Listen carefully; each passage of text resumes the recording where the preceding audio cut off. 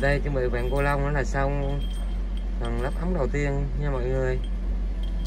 Là video mình kết thúc tại đây nhé cảm ơn mọi người và hẹn gặp lại mọi người.